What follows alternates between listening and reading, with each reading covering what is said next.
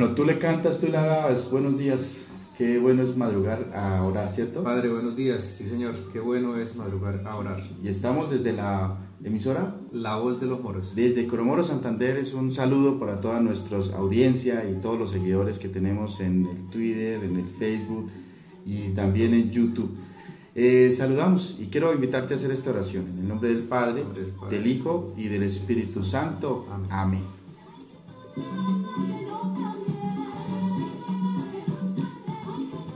Bueno, ¿cuál es nuestro triunfo en la vida? Pues llegar, como dice la canción, a la nueva Jerusalén, al cielo, eh, llegar transformados, cambiados, llenos de vida, llenos de amor de, de Dios.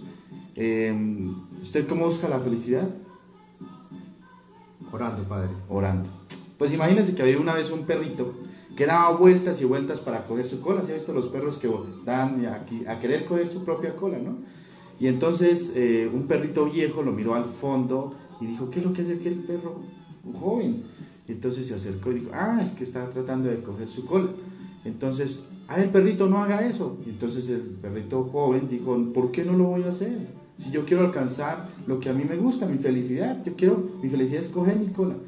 ¿Usted acaso no lo intentó cuando estaba eh, joven? Y dijo, sí, lo intenté muchas cosas, pero ahora que estoy ya con edad, descubrí que cada vez que yo caminaba, la felicidad iba atrás mío.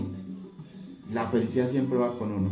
Entonces, cada vez que yo buscaba la felicidad, me alejaba de ella. En cambio, ahora que estoy tranquilo, yo miro, me siento y miro mi felicidad que siempre está conmigo. Muchos de nosotros a veces buscamos la felicidad en otros, perseguimos la felicidad y la felicidad va con nosotros. Pero siempre hacemos. Hay un texto bellísimo de Isaías que me gustaría que lo leyera, por favor. Eh, aquí está, de Isaías capítulo 35. Digan a los inquietos, sean fuertes, no teman. He aquí su Dios, llega el desquite, la retribución de Dios. Bueno, este es un texto bellísimo. Lo primero es que ya llega la retribución de Dios para nosotros y para nuestra vida. Esfuérzate, crece, luche todos los días por ser el mejor. No tema, la vida es una bendición, disfrútela. Después de toda, de tanta calamidad, de tanto problema, viene el desquite y nuestra retribución. Pide tu bendición, pídele a Dios que te fortalezca y que te ayude.